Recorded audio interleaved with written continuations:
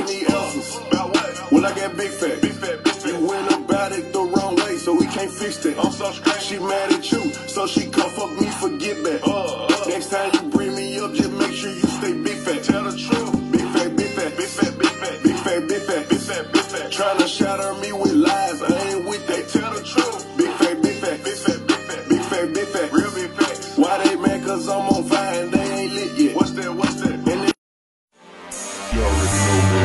Superhero fitness, let's go.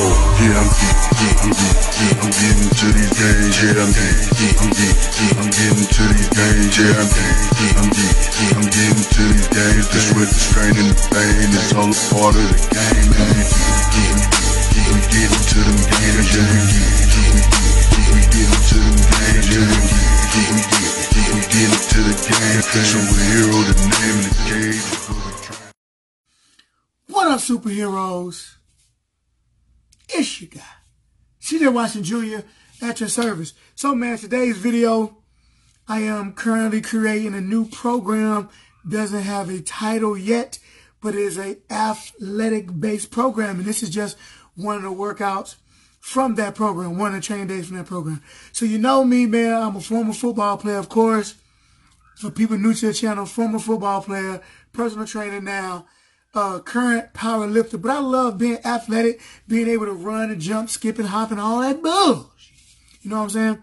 So from time to time, I like to get away from strong, my powerlifting type stuff and get more into athleticism. So this, this training cycle has a lot of, uh, conditioning work in it, mobility work in it, a little bit of everything. Today's workout is how I start my week. It's a power and explosion workout. So, so I, mean, I hope you guys enjoy this. Now, of course, with any of my training, any of my programs that I create, if they're good, at some point you will probably see them for purchase. But if this bad boy suck, you will never hear about it again. so already, you know, we got action figure one on sale. Uh, so message me if you want to get that program. E- email me if you want to get that program. That is the strongest man in the gym. Look like it too is what I call or what we heard as power building. It's basically power lifting and aesthetics or bodybuilding combined. Action figure body one. You can purchase that now. We got action figure body two. You can purchase that as well. That is strictly my powerlifting and strength program specifically. We got 21 day cut if you're trying to cut for a shoe, you're trying to cut for the wedding, trying to cut for anything based off of intermittent fasting and uh excuse me, not intermittent fasting, but based on a juicing diet I came up with. We also got um Oh, Clark and Bruce, man. I just came out with Clark Plus Bruce, which is my push and pull for strength program. Also have a super shred program as well that I made a long time ago. And if you just want a personalized program strictly for you, you know, you can email me, man, because I do this uh, personalized program for everybody. Everybody in the world. Enough of all this talking, man. Let's get on to this power and explosion workout. Let's get on to these games. So a lot of this program is symmetry. A lot of this program is core work. A lot of this program is stability. So you will see me do a lot of one arm, single legs type stuff. We usually call that unilateral training. So this first movement here is a dumbbell snatch, one arm at a time. As you can see, I'm starting with at 65 pounds. So I really, really enjoy this move. I think it's pretty difficult and pretty challenging for me. The only thing moving forward I would change is it's tough for the placement of the dumbbell since the dumbbell is outside of my hand. When I do the front version or when I do the, uh, the uh, video camera from the front, you can kind of see how I have to twist my body a little bit to get in a little bit better alignment to be able to pull it. Ideally, I think I need to have the dumbbell directly in front of my knee where my tibia, tibia is at. Okay, this is stupid. It's stupid when you don't even know your own programming. I am not supposed to be doing single leg deadlifts. I actually did three sets and it was very heavy and made my lower back flare up. I wasn't even supposed to be doing it. It was stupid. This move is a great movement, and it is in my program on one of my one of my symmetry days, athletic symmetry. Not on power explosion. It's no power or no explosion with this movement. I'm t- I was tired, man. So I don't know. The last maybe like week, the previous week, I didn't get in the gym at all. Uh, just uh, been super busy, but it's no excuses and nobody cares. So we right back at it like I never left. But yeah, I did three sets, bro. Back was like killing me. It was so stupid. Then I didn't even realize until I was done. When I looked at my paper to record how much weight I did, I was like, it's not even on my paper. I wasn't supposed to be doing it. So this is just for the uh, opposite angle for the single arm dumbbell snatch. So we started off just like a deadlift, of course. And you can see when I lose balance, which is actually a pretty good thing. I, I like to see myself lose balance, which means it's pretty challenging for me. I never want to do anything and not get challenged. If it's not, if it doesn't challenge you, it doesn't change you. I make sure my lats up, my lats are nice and tight, just like I would do in any deadlift. I'm starting below my knee. This is pretty close to where I would start a deadlift, maybe a little bit higher, which you can see my hip height is a little higher than I would be in a deadlift. And I'm really, really, really focusing on pushing them hips forward like I'm hunching. And I know it's kind of funny to say sometimes and to think about, but man, it's really like you throwing that thing at them. You know what I'm saying? Like you slanging that thing, you know what I'm saying? Because really, when it comes to hip hinging and pulling your hips forward, it's basically just hip hinging and sticking your butt out, keeping a vertical shin angle. And then when you're pulling that hip forward, you're really trying to do the reverse motion. So basically, that's all I'm trying to do. This is heavy I've ever heaviest I've done this movement for a five. Uh, I think next week what I'll do though, the only only change I make is I will start the weight directly in front of my tibia on my and my kneecap versus going to the side. And doing any things one arm, especially when you're going overhead, really challenges the core. And also it's going to work through any imbalances that I have from right to left. And I do have a ton of them. Some of the ways you get imbalances are just life, but some of are pulling mixed grip. If you are a mixed grip deadlifter, over time you will develop some imbalances. How you carry your grocery, how you carry your uh, book bag, how you carry your gym bag, you will develop some imbalances. Let's take a quick break and just give a shout out to my back back gains. Here we go here. Look at these back gains. I'm not even doing the bodybuilding program, but yeah, buddy. I still got some gains in that back. But back to what I was saying. Yeah, so we can develop imbalance.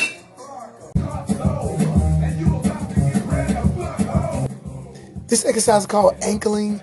This is just to develop some explosive strength in your ankles. I'm basically just jumping up and down, man, not letting my heels touch the ground. Simple as that. Three sets, 25 seconds this week. Next week, I'll probably go up to 30. Head almost came off. Can't let that happen, fam. Can't let that come off. Look at that hair swinging. All right, now we get into some jumping stuff. This is a single leg jump with a dumbbell. During this program, man, I'm not increasing the height of the jump. I'm merely increasing the weight that's pulling me down. It is a specific reason why I'm doing that and not going with height. When you go with something that's higher, what end up happening is you end up landing in a squatted position. So really, all it's doing is improve is testing your flexibility at the top of a box jump. So what I want to do was keep the height the same. So I had minimal knee flexion, minimal knee bend, but really had to explode off the ground with the additional weight. So I weigh 180 something, and you'll see it in this video. So with that 20 more pounds, I'm now jumping with the size of a 200 pound person. And then again, this is unilaterally because I'm really loading the weight on my right side or left side. Now notice the hip hinge, swing, and kick motion I'm doing. I'm using that to develop some momentum. When I'm talking about being an athlete, man, it's about getting your body to work together. Athletically, it's very small amount of things that we will do just standing and jumping. Vertical jump, box jump, it's not an athletic move. Think about it. When you're on the basketball floor, when you're playing hockey, when you're playing football, when you're playing tennis, when do you just stand in one spot and jump as far as you can? Never. We're always moving. We're always generating the movement from the hips. So that's what I'm doing. Simulating, generating the movement from my hips. Hip hinge, explode. Hip hinge, explode. And so now I'm up, now I'm up to the highest so far, 30 extra pounds. So I'm simulating if I wore 210 pounds, single leg jump at basically 210 pounds, minus whatever my leg is. And if you go to Five Star Nutrition, you can actually find out how much your leg weighs. Actually, we got a machine called the InBody. Shameless plug for Five Star, but I don't care. I work there, and they pay me, so whatever. And with this unilateral training, make sure you know you're just doing right side, left side, right side, left side, going back and forth to make sure it's appropriate.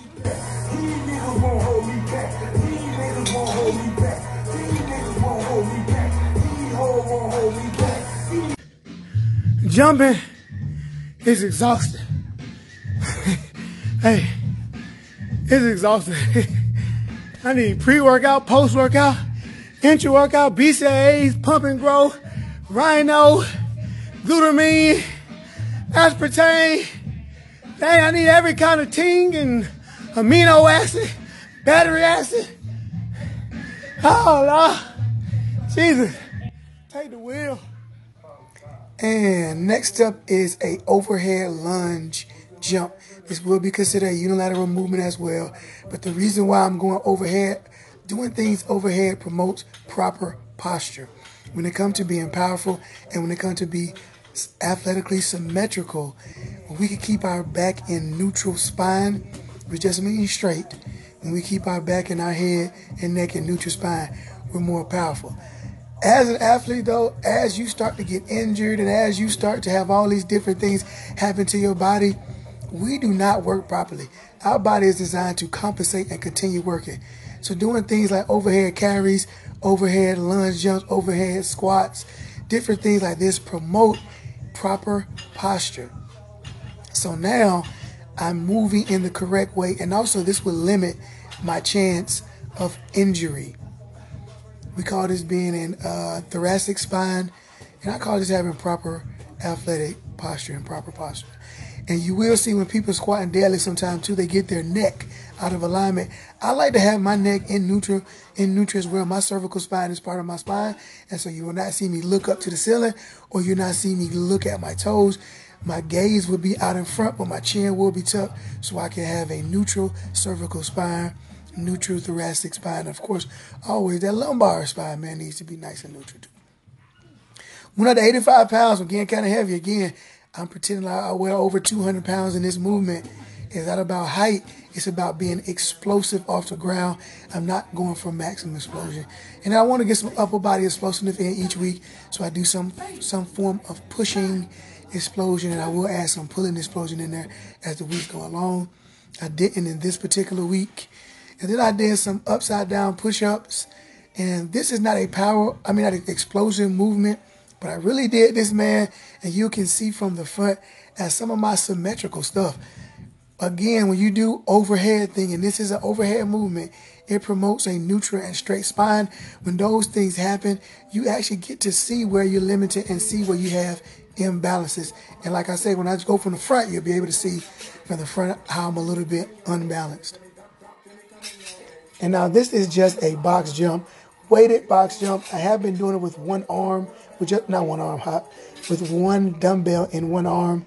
This week I switched up to doing uh, having a dumbbell in both arms to see if I felt the difference and to make sure it was safe. So I'm not sure which one I'm going to have in my program.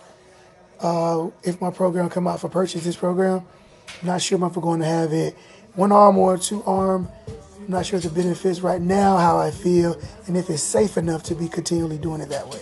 So this is a 80 pound jump, and I'm still generating from the hips.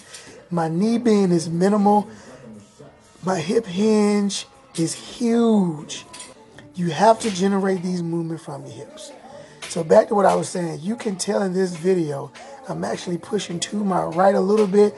I'm a right arm left leg dominant male species, alpha male species.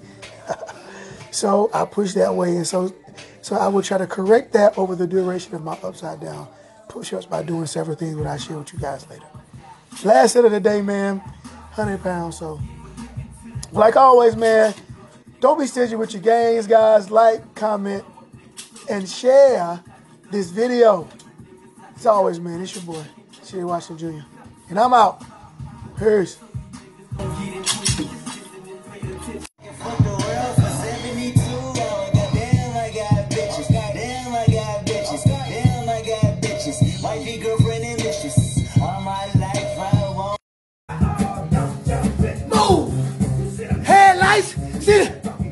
You see that goddamn